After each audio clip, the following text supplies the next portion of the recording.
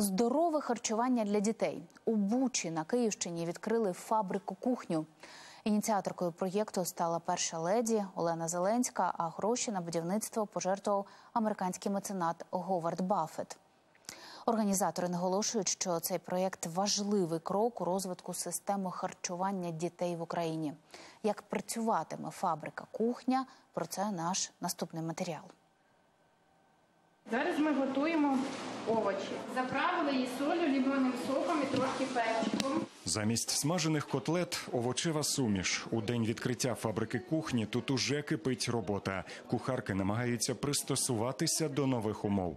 Це овочева суміш, це запечена капуста під сиром. Коли дочекаємося таймінгу, коли нам треба це все готувати, загонимо тележку в робочу камеру, апарат сам приготує до готовності.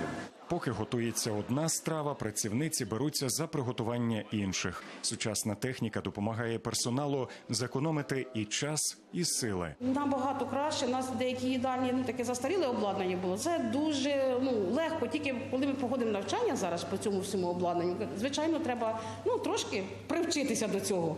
Виробничі потужності фабрики кухні, що відкрилася у місті Буча на Київщині, дозволяють готувати до 10 тисяч порцій на день, а відтак забезпечити до 40 навчальних закладів смачною та здоровою їжею. Першими, хто скуштує страви звідси, стануть діти з трьох громад Бучанського району, які найбільше постраждали від російської агресії. Основним завданням на фабриці кухні це є безпека.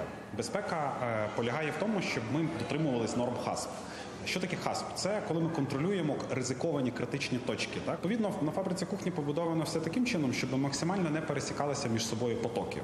Потоки сировини і, до прикладу, готової продукції, потоки брудного інвентаря і брудної зворотньої тари з чистим зворотньою тарою. В умовах війни чи не найголовніша складова безпеки самих працівників кухні наявність укриття.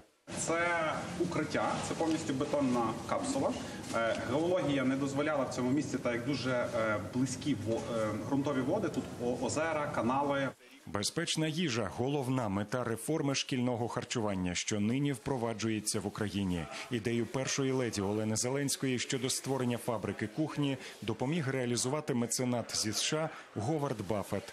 У перший рік існування кухні діти у школах навіть обідатимуть за кошти його фундації. Згадуючи те, як все починалося, наскільки ми були е, е, схвильовані тим, чи е, пан е, Баффет зголоситься нам допомагати. Е, і потім були достатньо. Складні перемовини, питання здоров'я наших дітей є стратегічним. Я б хотіла звернути увагу на те, що Кожен етап е, має на кожному етапі маємо вислідковувати зворотній зв'язок. Наша головна ціль, щоб дитина в кожній школі отримала тарілку з красивою, смачною і корисною їжею. Наразі це перша фабрика кухні в Україні. Другу організатори проекту мають намір збудувати на Харківщині. За попередніми планами, нове підприємство зможе годувати щодня близько 14 тисяч учнів і дошкільнят у п'яти громадах Лозівського району. Євген Онопрієнко, Геннадій Анікеєнко. Подробиці телеканал Інтер, марафон. Єдині новини.